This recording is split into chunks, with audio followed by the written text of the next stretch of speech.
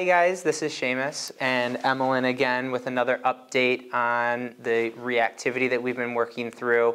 Um, today we focused more on trying to get that muzzle off. So for, started uh, first with the muzzle on in both situations with on the bed and uh, at the heel and in a down position, um, and then having Kevin knock on the door and come in. What you can see through the video is first we start on muzzle and then slowly uh, work up with intensity. And then as we take that muzzle off, we go right back down to super low, casual, Kevin just kind of walking in, not really saying anything, but just that little slight handshake and a little hug and using that reactive or rewarding for no reaction um, obviously to that, and then slowly building our intensity up in terms of exaggeration, ending with that really big, explosive hello and handshake and really big hug to kind of exaggerate that stuff. So uh, working to that point, um, we've been able to get her desensitized with being off muzzle, not going 100% right away and kind of pushing her those limits. We um, were able to kind of work our way slowly up with that intensity um, to prevent, you know, the probability of that reaction. Uh, obviously, when we don't have a reaction, we're going and rewarding heavily for that. So you can see I'm giving her a couple little handfuls of the kibble as well when I'm rewarding um, to let her know that that's something that we really want to reinforce that behavior um, to kind of counteract that reactivity.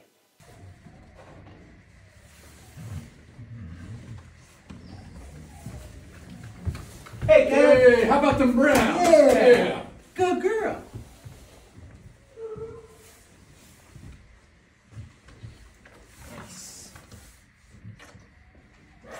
All right. Uh, one more time, we'll do this um, off muscle though.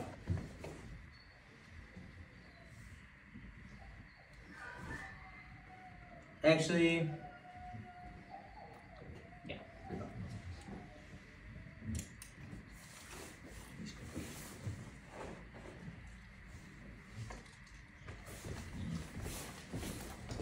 Um, this time we'll go slow build our way up. So come in, still not come in, just calm handshake, hug. We won't really like do much talking, and then we'll go from there.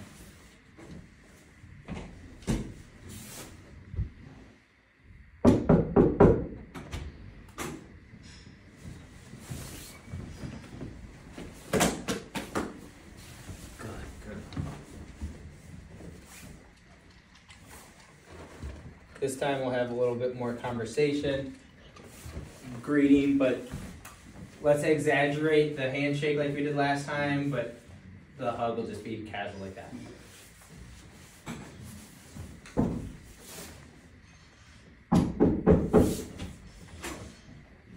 Hey, Kev. Hey, what's going on, Seamus? Good. You can see she's like getting amped.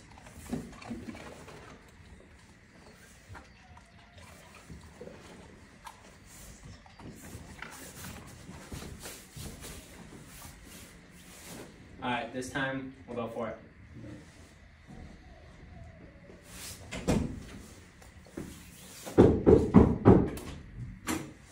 Hey, what's going on? Hey, Good to see you, Ron. Good to see you. Yeah. All right. Good girl.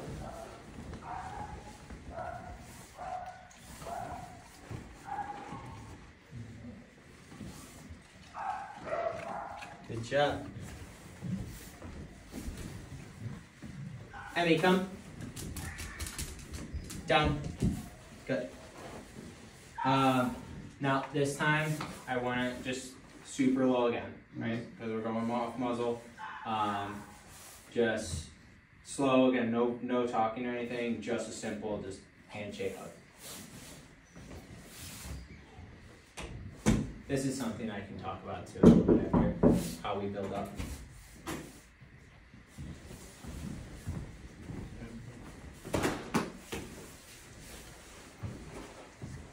Good. No. Down. No. Down.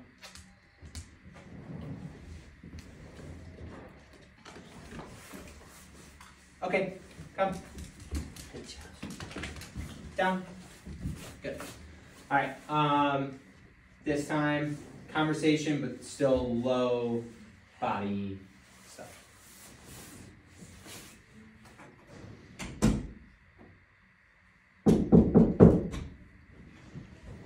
Hey, Kev. What's going on, man? Good to see you, bud. Good. Good job, Emmy.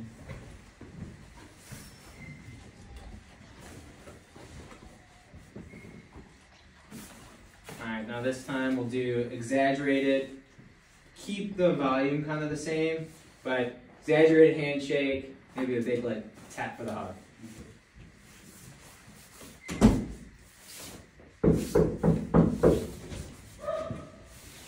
Hey, Kev. Hey, congratulations. Yeah. Good.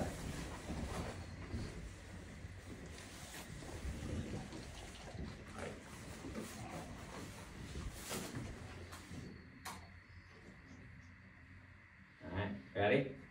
Big one? Big one.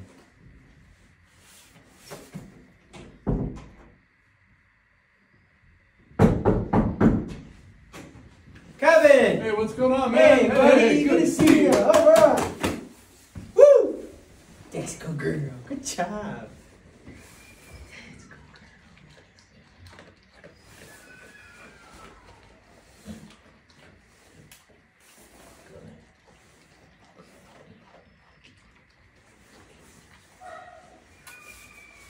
Okay.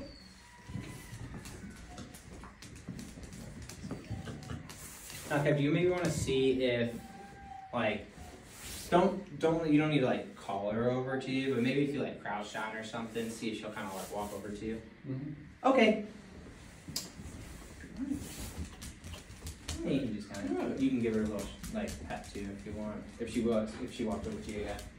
I want to kind of see like show that after that desensitizing that there is still a possibility of engagement as well, Okay. right? Hey, good girl. Oh, you're such a sweetie. Hi. Nice. Alright, Perfect. Cool. Good job. Yeah. Good girl. One on second one too. Buddy, are you giving mom a hard time? So, the crate training um, had been interesting, you said? Yeah, yeah. How has, Well, I got a better one, so that was good. He pawed, so I was, I was hopeful at first because he, he pawed for a 2nd Mm-hmm. shocked him at 50. He immediately stopped, laid down, got quiet. Yeah. like, "That's great. And then he whimpered pretty much the entire time very quietly. Sure. But within 10 minutes, pooped. So I had to go in, move him, clean it, bring it back in. yeah, Um, he also pees within the first few minutes. Sure. Mm-hmm. He only does it once. He'll pee and he'll poop, and then I can get him to stay there for. I've left him there for about an hour, okay. and then I'll go just mainly because I'm so cold in my garage. Yeah, yeah, go back inside. Sure. And then I've left him in the crate for maybe four hours. Okay. Like while I'm in the house, Yeah. like walking around and stuff. and Nice. He's, he whimpers the entire time. Yeah. But he's- nothing to where it's worth shocking him for. exactly. Like, Um, so that's where we're at. yeah, yeah. So, a lot, still a lot of the crate anxiety, getting used to the confinement aspect of it. Um, likely, like we talked about last week, it just takes some time. I definitely like him to start calming down in the crate. The whimpering, like again, we wouldn't correct for. As far as eating and drinking, do you feel like you have a good schedule for him? Um, so it's gonna change because if my life was how I'd like it to be, Yeah. I'd be going to the gym still. Sure. And I usually go in the morning, and that's the problem. is I don't. I already get up at four thirty in the morning. Yeah. I don't have thirty minutes to go piss around trying to get him to poop Yes. before I go at four four a.m. Okay. So I've been feeding him around eight or nine, but Okay. ideally, I don't know if I should feed him before or after. It seems like once I feed him, Mm-hmm. within 30 minutes, he can typically go to the bathroom. Yeah. So it's almost like it helps push it out. Mm-hmm. So I don't know if it's better to feed him, Sure. poop him, then crate him. Mm-hmm. It's just a lot to Yeah. very early. Exactly. So I'd hold, like you've been doing, I'd hold off on feeding him so you can go to the gym. When you come home, he can eat because anything in his digestive tract is just going to make it move, and he's going to be in a crate. You're going to come home to a very poopy and pee crate. a lot of pooping and peeing in the crate, as you've described it, where we've given him ample time to go outside, is anxiety induced. So he's just like, I'm confined. I'm just going to let my bladder and poop go. Um, and it will take a little bit of time. We're going to keep chipping away at it. We're going to keep doing it. I know it's really frustrating, and I wish that I could like give you a magical answer and him start to get better. But we need to look at like feeding schedule pretty closely. I don't want to withhold water from him by any means and have him have a lot of water out. But you said he was on a medication that made him drink more. So Yeah, the, antibiotic. Yeah. And the other thing too, is that, um, he never lets it all out. I know that's more of a boy thing. He's like always gotta have something. Sure. smart. So that's, uh, you're, you're, yeah. um, yeah. Yeah, mister. So he's just been real spoiled the last month, because I, I really have not spent any time away from him, except Yeah. for when I've dropped him at my Yeah. mom's for the weekend. Yeah. So, you know, me trying to get back into a gym schedule or Mm-hmm. hopefully eventually going back to the office for eight, nine hours a day, Mm-hmm. it's gonna be a huge change, but Yeah. I just, I'm, because he's peeing and pooping I put him in that crate, I feel like I'm not at the point where I can leave him yet. Exactly. Yeah. And I get the concern with that, but I'd start like you said, you left for four hours or so, or you didn't leave, but you were in the house. He was okay. in the crate and I was there. Yeah. We could, we'll continue to crate him while we're home, but I don't want you to be afraid and feel like you're a prisoner of your own home because you can't leave. Yes. If you feel like he's secure in the crate, um, a side effect just for the time being is we might see a little bit of accident in the crate. Um, but I definitely think you should start to push leaving and going somewhere, even if it's just to get a cup of coffee. If you're concerned about his barking, um, and we're not there yet, and you feel like you have to be there to physically give him a correction, we could consider a bark collar in the crate, which I've done with my own dog because we live in, I used to live in an apartment and Yes. my landlord was like, she can't be doing that or you have to leave. And if it came down to those options, I'm gonna use the bark collar for a little bit and it's just a learning process. It wasn't meant to be necessarily very long term, but it helped me so much. Okay. And that would just kind of activate as he were barking. It's coming from confinement anxiety, where obviously he feels very uncomfortable in a crate being left alone. Um, not an issue, I mean, it's a very common issue that people deal with. And I know when I was in the boat, I was like ready to get rid of my dog almost. Because I would have her out and I'd watch her pee and poop, and then she'd come in and I'd leave and I'd be like, "Ugh, I have nothing to worry about. And I'd come home and she's like covered in her own poop, and it was very frustrating. Yeah. But it did take a couple of weeks for me to start to see relief. I did the double crate trick, and I think really monitoring when we feed him. Um, I don't want to limit his water right now, especially with the medication, but being cognizant of when he's drinking that water. Uh,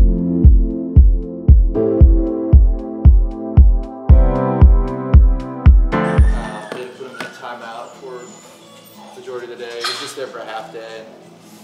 So too much energy. Trying to, Too much energy. trying to fight some of the dogs. Hmm. Yeah.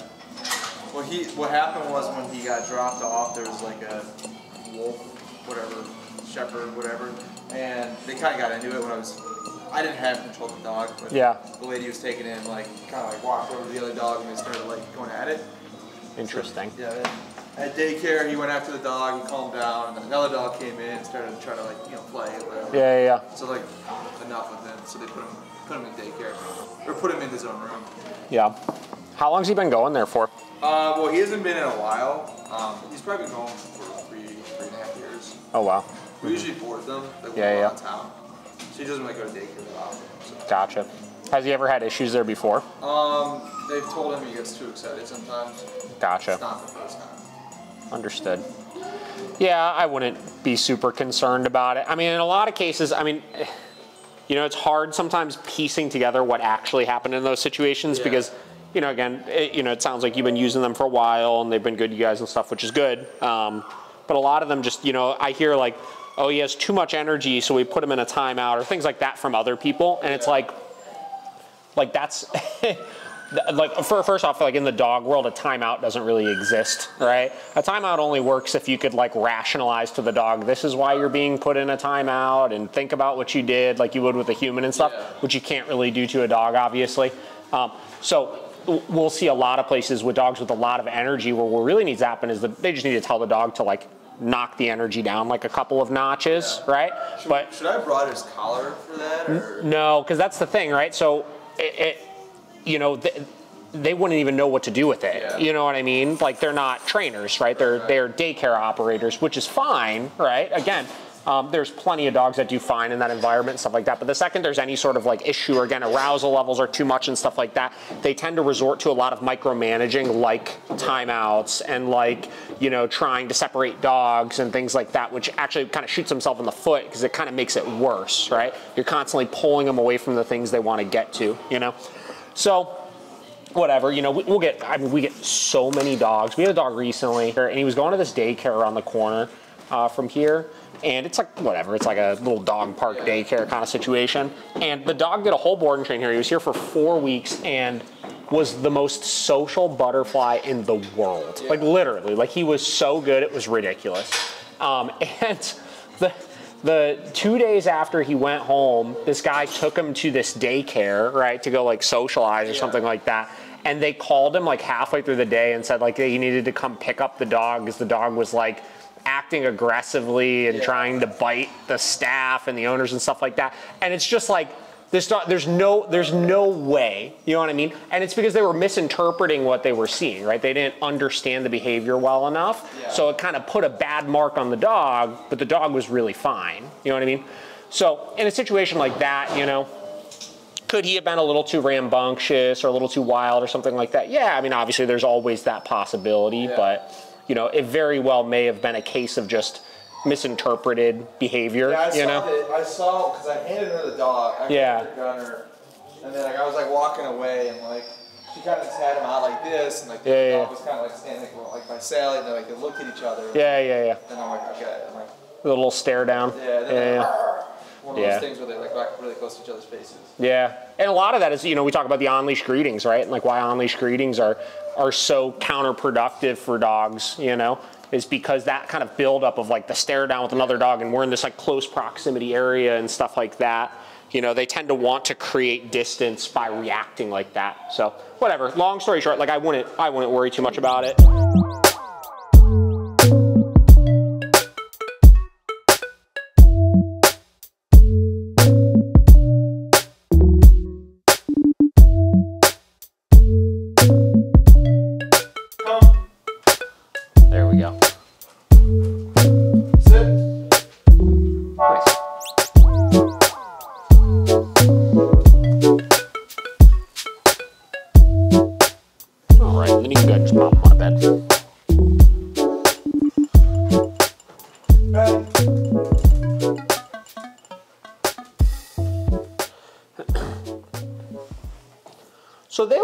Relatively okay with that. None of it is, is terrible by any means. Again, Gunner's really thrown off being up here, you could tell.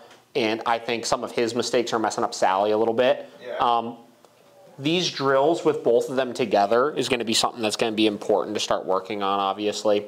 Um, just because just teaching them to work together as a unit and go through all these motions will help get their attention more on you and off of each other. Because you can tell in some of the, the reps where they were messing up, it's like Gunner would do it right, Yeah. Sally would do it wrong, and then uh, yeah, and then and then Gunner would think it's wrong because Sally wasn't doing the same thing as him, right? So as they get more confident in it individually while working with each other, you'll see that get less and less, obviously. Um, there was very, very, very minimal e-collar use for any of this. I wasn't even really tapping at all during when you were just working it. It was just for the food, right? Um, so I would recommend doing some sessions of this just with some treats, you know, work some beds, work some comes, work some sits, you know, and just get them really in the groove of doing it and try to get their motivation up a little bit with it. That's why I started adding those rewards in for this because it's not a matter of they don't know it. It's just a matter of just re-solidifying it because it's a different picture, right? This is where we talk about the generalization process of things. You know, they both did this when they were doing their individual lessons perfectly by themselves, mm-hmm. right? But that extra dynamic of them doing it together is just confusing. So we got to get some. Uh, yeah, I see that. Wake up there. He said, "I'm not sleeping from the baby stuff either." Um, but that'll be a big thing to start working on. Okay. So, and then in our next session, what we're going to do is I want to do a field trip with them I think I mentioned that last session or the session before. Yeah, we'll take them to Home Depot around the corner, and we'll do both of them for that. And that'll be really good because uh, we'll really be able to test the distractions and all of the individual commands and stuff. But I'd like to see this stuff look uh, look pretty good at home for you. So spend some time with that. Additionally, next time you come, if you have a bag of treats that they really like, bring it with you because we're going to use them a lot probably on our uh, field trip as well.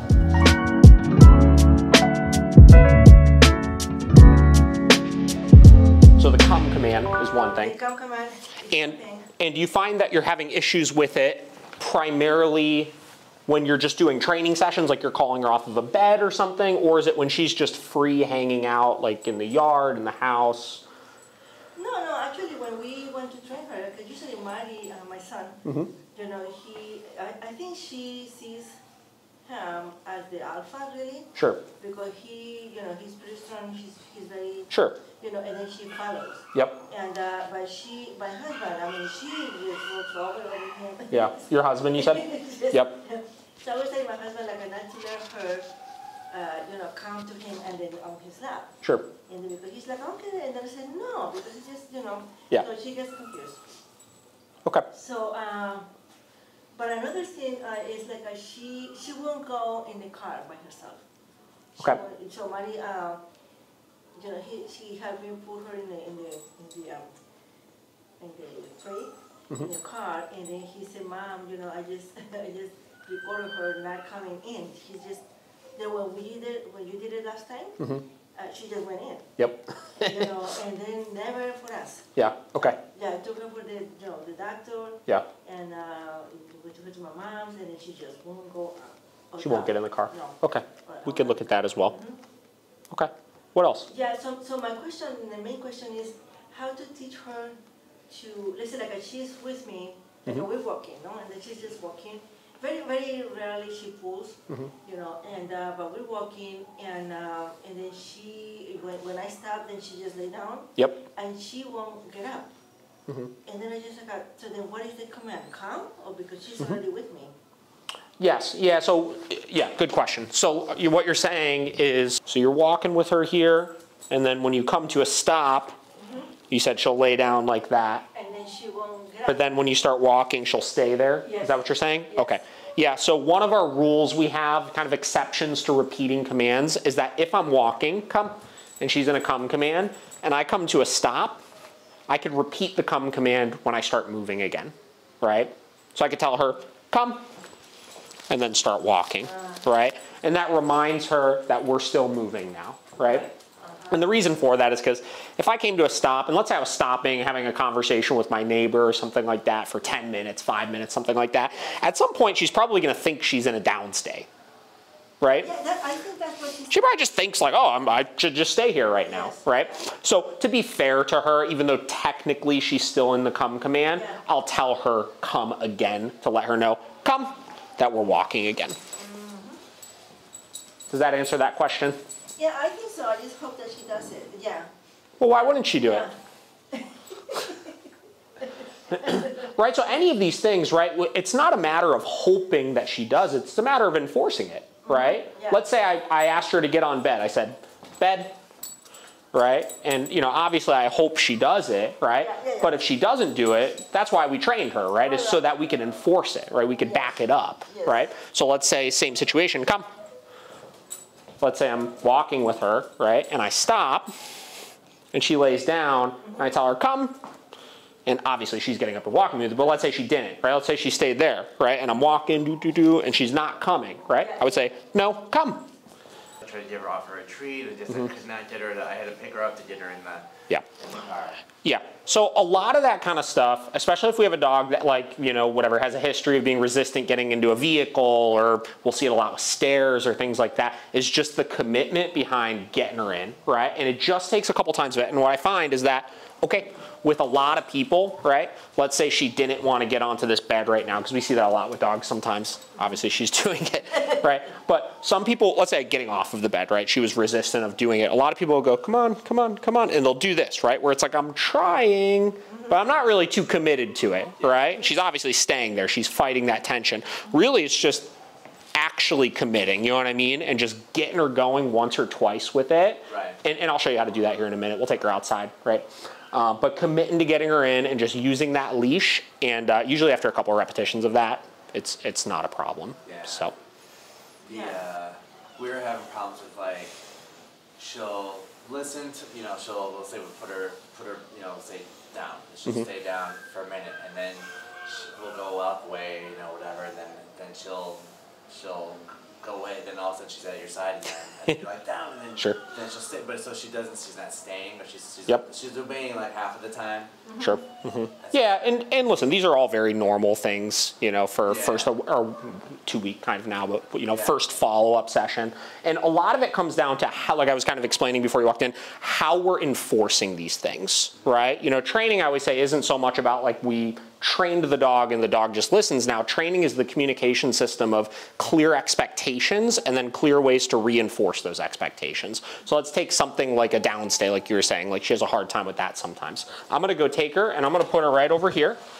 I'll put her right there into a down, and because that's kind of a weird spot, she hesitated on it. I told her no, I have an ability to reinforce and get her into that position. We're just gonna leave her there for a minute, right? And it's kind of out of sight, and we'll see if she stays there, if she gets up and comes in.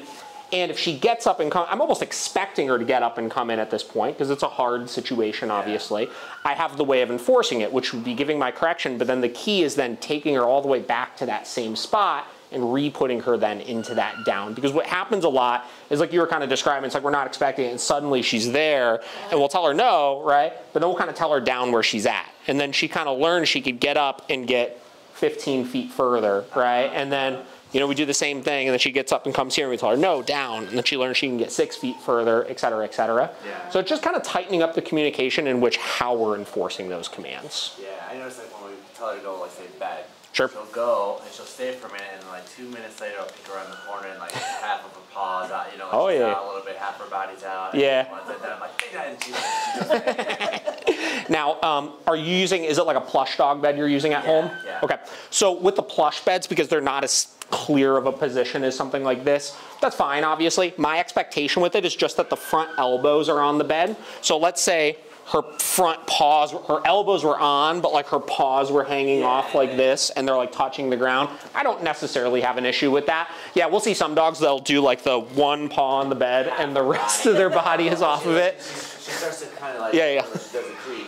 Yeah, Yeah. And, and then the other side of it too is is the mentality going into it to be successful at this kind of stuff is of the mindset of we're expecting those mistakes to correct for them as opposed to like all the situations you kind of described are the like suddenly we looked and like we're like caught off guard that she broke that position you know what i mean Yeah. so as you're doing those training sessions like if you're noticing for example um, bed stays like in duration let's say your 20 minute bed stay or something like that you're having an issue with like where you consistently are doing it and then she is consistently after 10 minutes when you're not watching her making a mistake or something like that Yeah. well i'm going to go into my next couple of sessions doing that waiting for her to make that mistake so i can catch it the second that she does so we could get past that problem right Yeah, like we're finding that like you know we catch her like something happens and they're like oh you go to correct but we don't have the Sure. the thing on us. You know? Yeah, and that's kind of you know that's where we get into just the handling side of things. If you we didn't have it on us because we weren't expecting the mistake, right? Where if we're expecting the mistake almost, right, and somebody's kind of on Beya duty, right, Yeah. then you could address it right away, right? As soon as you see that mistake, it's like, all right, I'm ready. No, you know, and then you could kind of reset her. So Yeah, when I Yeah. went to take her out today, uh, just even out to get her to the car, Mm-hmm. you know, pull on the leash, Yeah. like yeah, Yeah. they did that, and then she will she'll listen for a minute, and then poof, she'll start to go again, and then you're Yeah. going back. Mm-hmm. So that's the kind of stuff. There's like she's she's obedient like half of the time. Well, in those situations, right, you said, so you, you got her out of the car and she was pulling, right? And she's still there. She's kind of looking around the corner, but she's still holding it. But same deal, right? I'm ready. I'm waiting for her to make that mistake right there. Um, so that, that situation you described, you got out of the car, she's pulling, you said, Bear, right? And she stopped for a second and then started pulling again. Were you actually giving corrections when she was pulling, or were you just verbally I was correcting? all verbal. I didn't have Yeah, yeah, the, the, the zapper. I think that's the thing that we put out, you're not doing it correctly, I Yeah. Because it is like, a, you know, like at this morning, for instance, um, you know, I usually take her out Sure. in the morning. And uh, so then she waits for me to open the door, you know, we were, uh, you know, working on that even before she Sure. came here. So then she's doing that fine, but once I open the door and I just, you know, I ask her like, okay, come. Mm-hmm. Then she goes with me, but, uh, but she doesn't, she doesn't walk next to me. She tends Sure. to go ahead. Mm-hmm. So I don't know, you know, like how many times I should correct her. Well- with me, I mean, like I, Well, it's it's it's as ma- the the short answer is as many times as we need to, but keep in mind the point of a correction is that it should reduce the likelihood of making that mistake in the future, right? So even when we were doing like her send home lesson, for example, there was very few actual corrections she needed because she had you know four weeks of consistency of getting them. Yeah. Where she needed to get them, right? So she learned how to avoid them, which is what we want, right? We don't want to have to sit there and be like, click, click, click, yeah, click, click. yeah, exactly. Oh, and I just thought of another Sure. thing too, is that, um, there has been a couple of times where I did do a, a correction. Yep. And then she like, she's like this, Mhm. and she won't listen, she won't come, she's like, she, you know. Oh, she's She stops, she gets afraid, and then Sure. she stops listening to anything. So uh, inconsistency with the boundary can create like fear of the unknown. We kind of call it sometimes, where it's like if she doesn't understand the clear expectations, where it's like 25% of the time she's getting the correction, 50% of the time she's not getting the correction, 25% of the time it's a verbal correction, et cetera, et cetera. That's just an unclear boundary. That's kind of, kind of like the equivalent of like if you had an electric fence, right? And the boundary changed every single day, those dogs would be terrified to even go out into the yard. But with dogs that are on electric fences, they almost never actually need to get the stimulation because it's a consistent boundary, right? So all of this stuff kind of boils down to just the consistency in which we're applying the correction um, and exactly how we're going about reinforcing our commands. And that's what really tightens all this stuff up, right?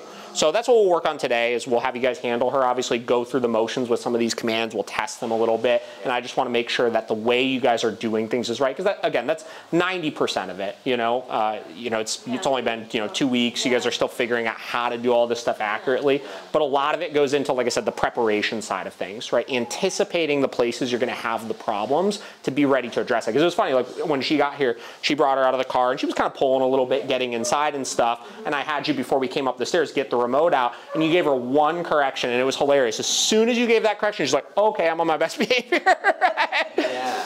And, and I could tell before that you're kind of getting a little frustrated because she was pulling you and stuff like that. So it's a matter of instead of getting frustrated about it, just address the problem. You know what I mean? And predict like, okay, cool, we're coming back to a place that's probably going to be a little exciting for her to be here, and she's probably not going to want to listen as much because she wants to see her friends and all that kind of stuff. So I'm going to expect those mistakes, and I'm just going to be ready right off the rip, you know, when we get out of the car to give those corrections, so that I can just do it one and done right at the beginning, and then we're good to go.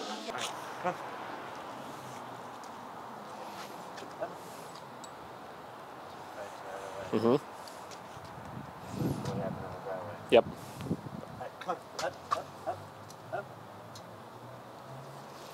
All right, so let me see the leash real quick there. So very similar to what I kind of described, right? You were kind of committed, but not super committed with it, right? So what I'm gonna do here, obviously she's resisting a little bit. I'm gonna keep her moving. Come on. Let's go. There you go. So not getting in was not an option, right? She's getting in there. Come on, let's go. We gotta get out. There we go. Come on. There we go. All right. Why don't you push the crate back just a little bit more, and I'm gonna do it one more time here. All right. So we're going. There we go. And I did it one time, and no much how much less resistance there was the second time there, right? Yeah, come on. Let's go. She's like, I don't want to get out now. Come on. Let's go. There we go. All right. So I'm gonna have you go ahead and do that next year with her.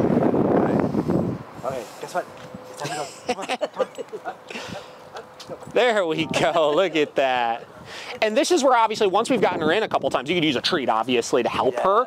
But the key is if she doesn't want to get in, we're still going. Right? We've got to get in. It's not optional. She won't, she won't come out. Yeah, she's a little resistant of coming out as well, I could tell, obviously. There we go. Perfect. Perfect. And the first couple times are going to be the hardest, right? Because she's so used to, again, putting the brakes on works, fighting works, right? So if she knows in the back of her mind fighting works, if it's starting to not work, in her mind, she's going to go to try to fight harder, Yeah. right? So she's just got to realize it's just not going to work. So let's do one more. Here, I'll push the crate back a little bit for you.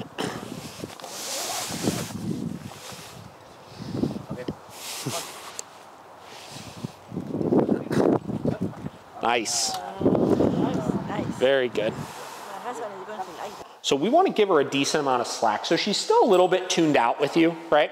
And a lot of that is you're still repeating your come command a lot instead of giving your correction. So when we go to do this, right, I'm going to tell her, Bea, come. I'm going to start walking.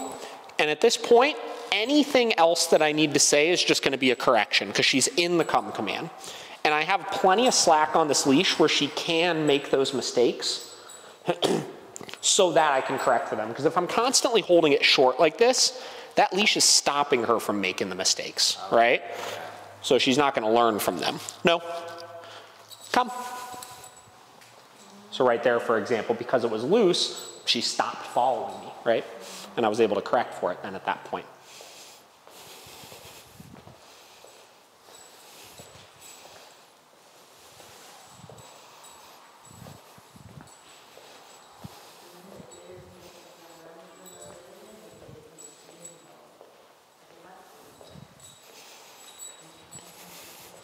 And just give it one time at the beginning. So just come, start walking.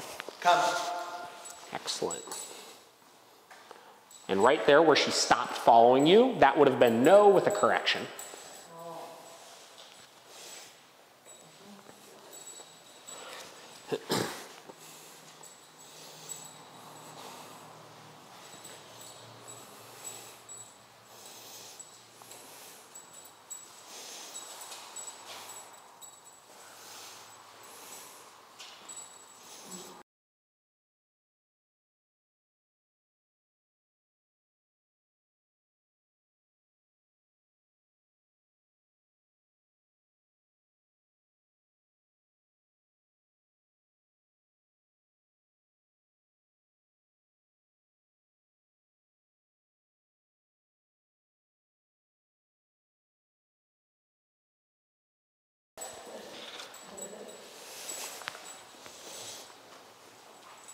A little bit more.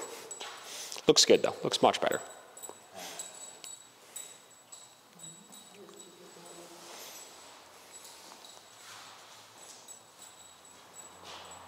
Nice. And then I think one, and what I want you to do is you're gonna do the same exact thing just off of the leash now. So give that come command and get her to follow you around. Come. And just do that for a little bit. So now when we're off of the leash, this is a great way to practice it as well because you, you don't have the leash to like fall back on to accidentally make those mistakes of holding it too short and her, uh, you know, listening only because of that, right?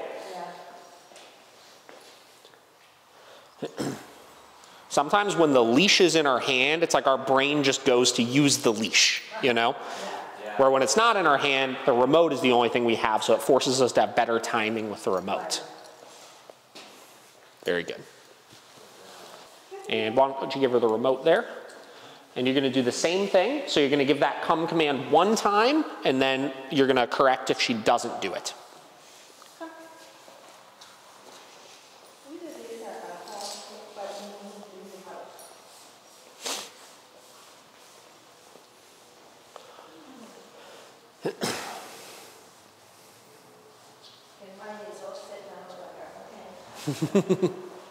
Did all the hard work.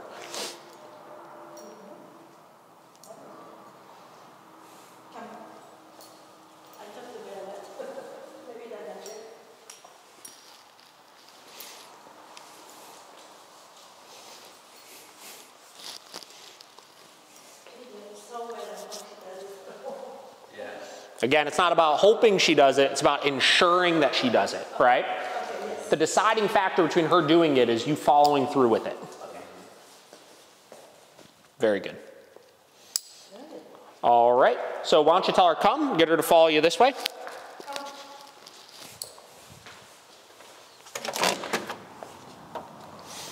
Now just uh, walk, do a quick little loop, and then come back in. Yeah, we're going to be staying in here. I just wanted to do it outside for a minute. See that she could do this even in the real world, right?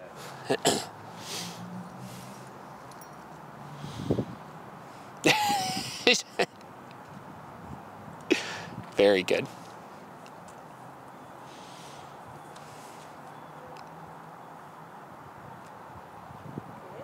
Very good. All right, you can bring her back in.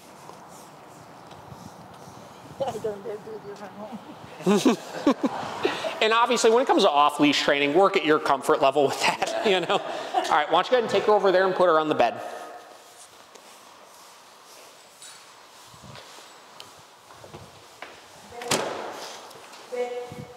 Perfect.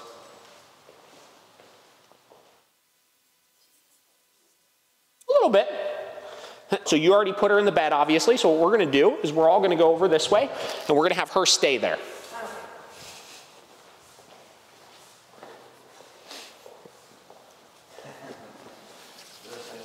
Yeah. Now, what are you going to do if she gets up? You're going to tell her no and give a correction? And then what are you going to do?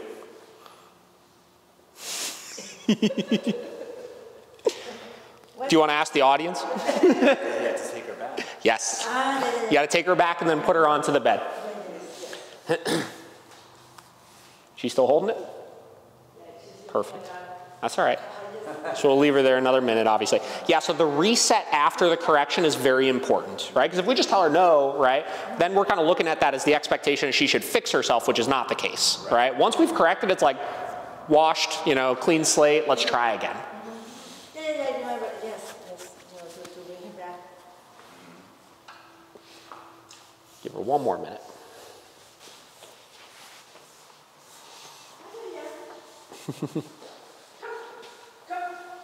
there you go.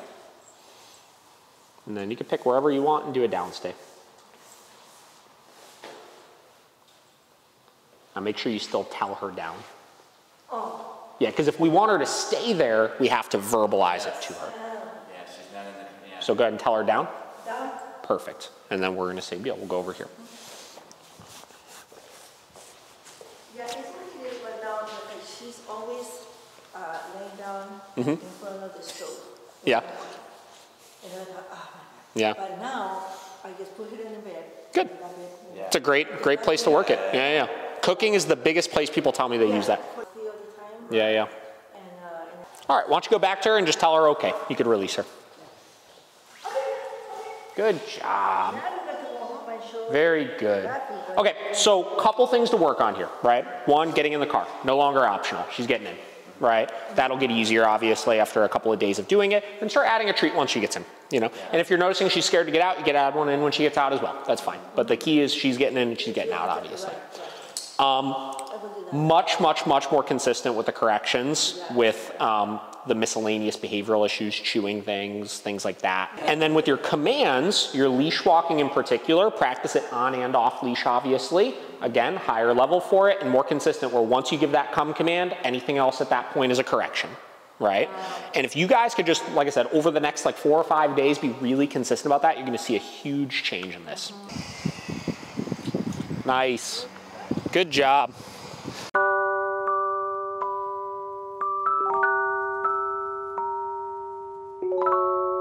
Is this Alfredo? This is Alfredo. You look like Alfredo. I bet you that's. Whoa! You're a jumper. All right, you can follow me over this way. Okay.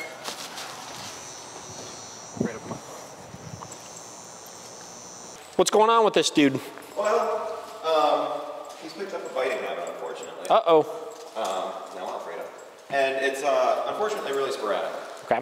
Um, it's, it's a little more, or it happens a little bit more uh, frequently when he has food or when he has, you know, food-related items. Um, but um, the second one is when he's asleep. Um, he will snap very infrequently, but he will snap uh, and try to get your hand. Um, most of the time, he will not growl before he tries to bite. Um, he'll just go for it. Um, but you know, that's that's the biggest. Oh, and he gives the, the groomers troubles recently. Okay. When I first adopted him, he was pretty good and didn't give anybody too many problems. But it seems like over the past year, um, he started giving the groomers a little bit more problems, and then he started giving me some problems at home with the biting stuff. Yeah. Um, and so I feel like it's it's it was time to bring him in and try to get some training done. Yeah. Um, How long have you had him for? I've had him for about a year and a half now. So you've had him for a year and a half, and you said he did not have the biting issues initially. No, well, so they warned me about the biting issues. What did they say about it? They said that, you know, he snips a little bit, and so they were trying to correct that. And so Okay. anytime that he was mouthy, you know, try to correct that. Yeah. Um, and so I did that for a while, um, and that didn't seem to, well, it was working for a while, but then he, he bit out of nowhere. Yeah. Um, so the exact situations were, um, I work from home, Yep. um, and so he was sleeping uh, next to my chair, Mm-hmm. and I just went to wake him up. Yep. Um, you know, I, I think I touched like his back leg or something like that, and he immediately turned around and got me here and here. Sure, sure. Um, and then the, the time that he got me here, Yep. um, I had a chew toy that I gave him. Yeah. Um, I gave it to him, and then I tried to take it away, and then he snapped a bit. Okay. So I brought that chew toy just as a training exercise. Yeah. All right. Well, a lot of little details. So it's it's what I'm interested to see is how much of it is as far as the resource guarding I'm less concerned about. That's fairly straightforward as far as you know learning to work through and stuff. Obviously, the uh, sleep one we've seen some dogs with that before on various intensities of it. Obviously, and what I'm curious is is it a sleep related thing or is it just certain areas? You know what I mean? Yeah. Because you had mentioned obviously the groomer, the legs and stuff like that. You said you touched him on the leg, obviously. I'm thinking it might be a combination of the two. Sure. Because I think the, the last time he bit me here, I touched him on the back of the leg. Yeah. Um, and that's what caused him to snap. So I'm thinking it has something to do with like his knees or his. Uh, he's definitely sensitive about his feet. Yeah, Um, for sure. But he's he, the back of the leg or like the knees might be another sensitive area. All right, so what we'll do today is I want to take a look at, yeah, we'll take a look at the resource stuff. We'll see how he seems over that. Okay. Um, we will run some handling drills. Has he ever wore a muzzle before? Um, he only at the groomers probably. I have not put a muzzle on him. Okay, so we'll probably put one on him, make sure that um, obviously he's gonna gonna be tolerant of it and stuff like that. Kind of go from there. All right, so what I'm gonna do first and foremost here. A lot of times we're dealing with resource guarding with dogs. um, the impulsiveness over the resource is the start of the issue, right? So him just being really quick to want to grab that thing. He kind of thinks it's his even when it's out, right? So I'm just gonna walk around for a minute and just if he tries to go and jump up and grab it or jump on me or anything like that, I'll just be giving a correction for that. So. See if he's more interested in everything else.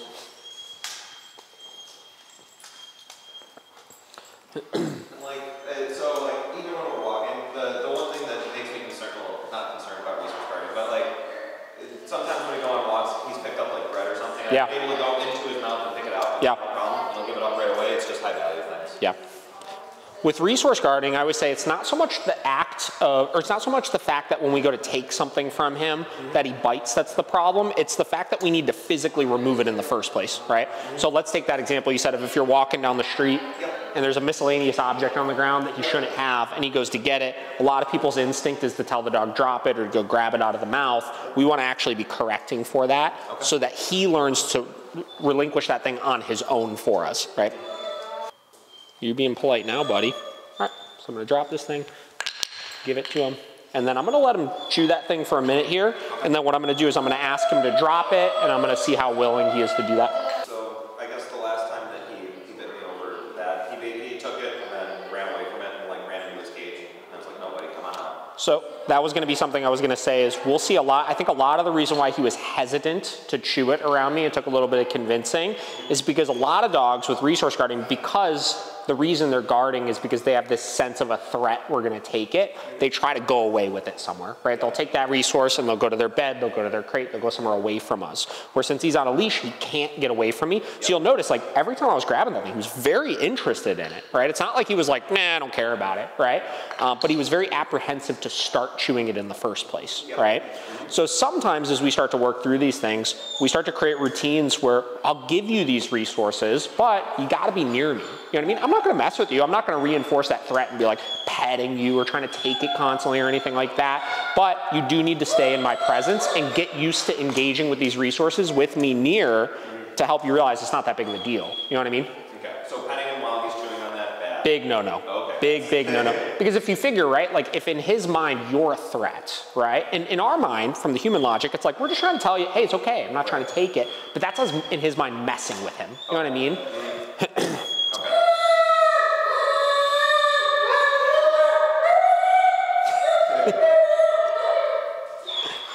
So I'm gonna give him a minute, let him enjoy it obviously for a second, and then like I said, I'm gonna get him to disengage from it. Come on. No. Now, obviously, I told him drop. Yep. I tried to bring him away from it. He went right back for it. So that's what I corrected for, obviously. He, he does do that. Yep. We'll see that a lot with dogs, like with like balls and stuff. As you tell them drop, they drop it. You got to grab it. They got to snatch that thing back up real quick. He's got to realize, obviously, until I give it back to you, you're not allowed to have it. Obviously. Okay. And Somebody, I'll let him have it again. Sure. Okay. So what I want to do here is we're just going to test some basic handling with him. So I'm just going to, hey, kind of examine him similar to a vet or a groomer or anything like that. He's messing with the muzzle, I'm just gonna block him from doing so, obviously. Hey. Hey.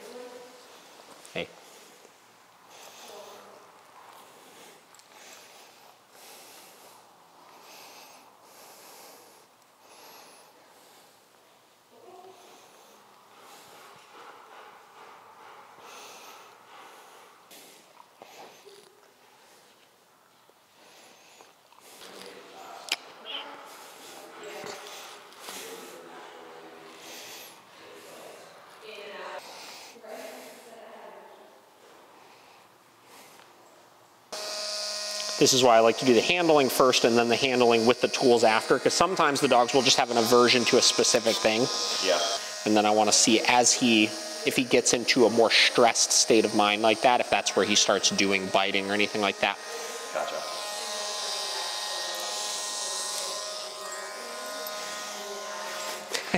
yeah. I mean, There it this is why you got sent home. Yeah, yeah. Whoa. They said they said that they, they had two people trying to, to pull them down. And, Oh yeah. And then anytime you run into a battle where it's like people are then trying to physically manhandle him down and stuff like that, it just makes it worse. So yeah, a lot of times it's more of a persistence thing than anything, you know? Like I'm not gonna try to actually hold him back or anything like that. Yeah. I just want him to realize that he can fight all he wants and it just doesn't stop it, you know? And then they essentially learn how to deal just deal with it. Yeah, little by little. Because again, just like with the resource stuff, he has this sense that something really terrible is going to happen, right? And it's just a matter of showing him that that's not the case.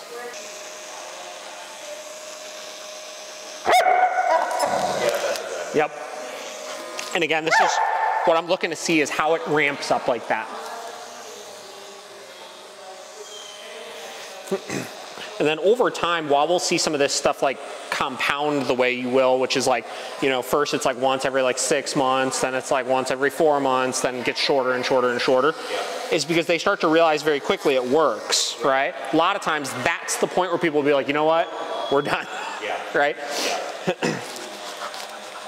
So the second they learn that that's a, a good behavior to do when they're stressed out, it's like they just start using it. Yeah, for sure. So.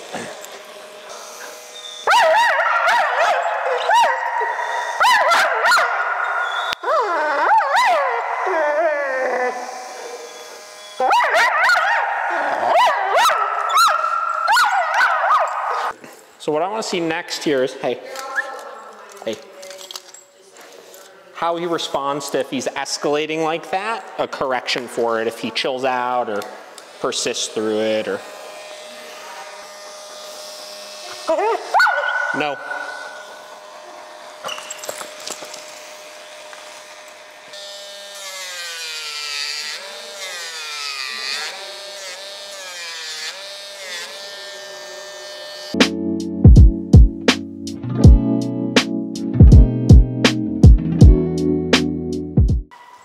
It's meal time. No.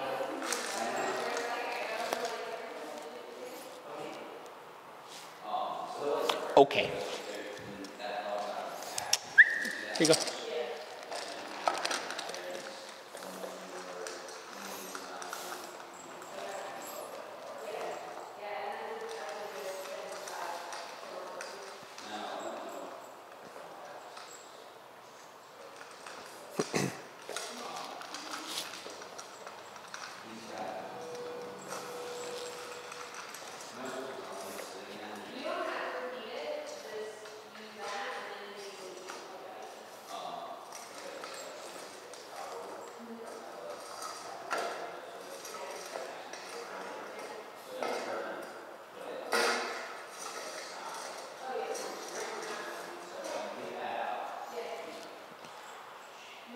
Work. Come on.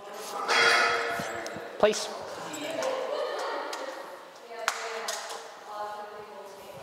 Not too bad. Now feeding, a lot of times again, that impulsiveness for the food is the issue. So I don't give like a wait or a sit or a down or anything like that. I make sure I put that bowl down. He's just waiting because he realizes the food is mine. Then once I give it to him, he can have it. And same deal, I'm hanging out next to him the whole time he's eating because in a lot of cases, especially if we're used to bowl down, we go do something else. The dog kind of starts to see that it's theirs. And then as we reapproach, that's where the problem is, you know? So hanging out next to them during that feeding process in conjunction with some of the other things helps get them a little bit more comfortable with it. The, the guarding stuff, the grooming stuff, you know, obedience training could use a little bit of probably brushing up on as far as you doing it consistently the right way. Mm-hmm. Nothing seems very problematic, right?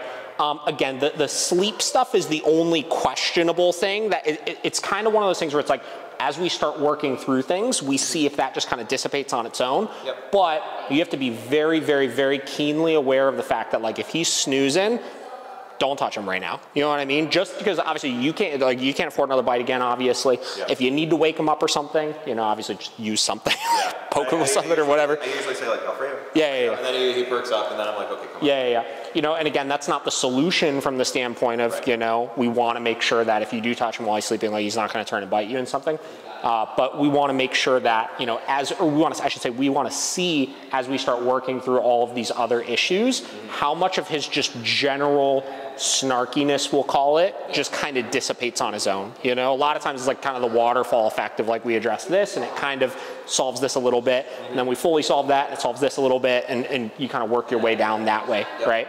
So that's kind of what I'm seeing with him. He seems like, I mean, he clearly knows stuff, right? He listened pretty fine. Like he's clearly had a good foundation of training on him. So that's a very positive thing because we don't need to do a lot with him from that standpoint. Yep. Really, we need to focus on you and you understanding all of this stuff. And then we need to focus on putting in place really clear protocols for how we're giving resources, how we're taking resources, things like that. So we could reduce some of that anxiety in his head of like not knowing what to expect around the resources, which is what's causing him to guard them in the first place. Yep. Does that make sense? That makes a ton of sense.